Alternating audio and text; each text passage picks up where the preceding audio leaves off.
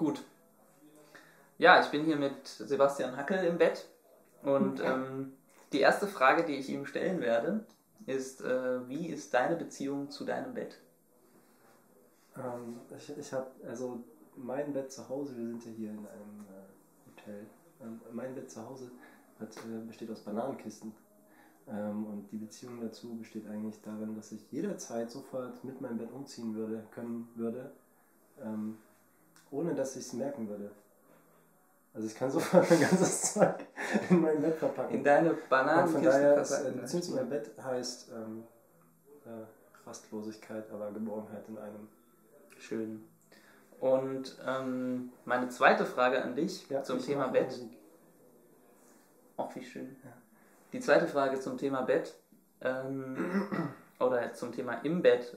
Wenn du niemanden anders über, also niemanden anderen umarmst oder keine andere Person zur, zur Hand hast, umarmst du dann dein Kissen? Manchmal. Nein, nee, das mache ich nicht. Nie? Gut. Nee, echt nie. Also, Gut, das ist vielleicht dann die nächste? Frage. Ähm, ich schaue jetzt mal kurz nach auf den Katalog. Würdest du eher sagen, dass das ein Maikäfer ist oder äh, eine Zecke?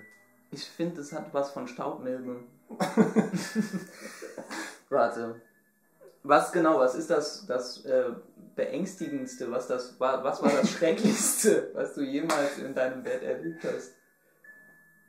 Ich habe geträumt, dass ich, äh, dass plötzlich ganz viele Käfer und Schlangen und Krabbeltiere sich überall um mein Kopfkissen versammelt haben. Was ich natürlich nicht umarmt habe in diesem Mhm. Moment, aber ich lag ja mit dem Kopf drauf. Und ähm, das war eklig. Ich bin aufgewacht und habe auch nicht so ganz geglaubt, dass die jetzt auch wirklich nicht da sind. Aber das ist ja jetzt eine, vielleicht auch eine philosophische Frage, aber das ist ja nicht wirklich in deinem Bett passiert. Deswegen würde ich die Frage nochmal Also, präzisieren. äh, hm.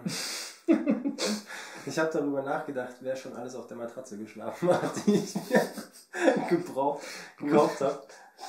Also Und der Gedanke allein es ist so einiges hat mir Schreckliches gezeigt. passiert.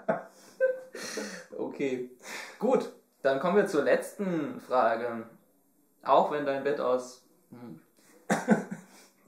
Auch wenn dein Bett aus Bananenkisten besteht, was für ein Monster liegt unter deinem Bett? Äh, naja, also das ist ja, deshalb besteht es aus Bananenkisten, weil dann halt kein Monster drunter Platz hat. Es sei denn, es ist ein Monster, was sich äh, sech, durch 16 teilen kann. Oder es ist ein Monster, was aus 16 Teilen besteht. Oder es sind 16 kleine Monster. Oder so. Und das wiederum wäre wieder total niedlich. Okay. Und die können eigentlich auch nur nach oben kommen. genau, gut. Wollen wir noch?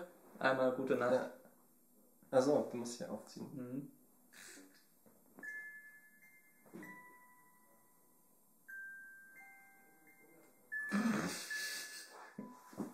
Müssen wir morgen aufstehen eigentlich? Weiß ich nicht.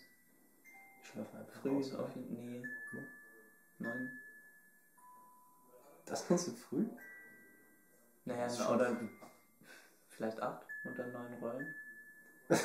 Neun Rollen? Na, das war um neun Rollen halt, ne? Ach, Rollen, also mit dem Bus. Ja. Vorher noch die Kinder im Kindergarten, ne? Frisch. Und dann gehst du aber auch mal wieder in die Schule.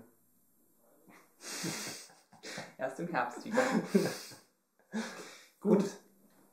Ich glaube, wir werden gefilmt die ganze Zeit. Ich will nicht mehr.